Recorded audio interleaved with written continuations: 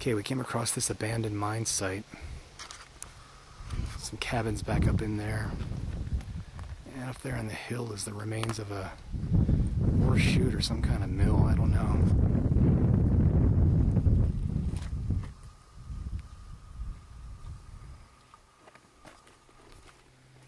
And there's a road up above that. Okay, this mine tunnel is uh, flooded.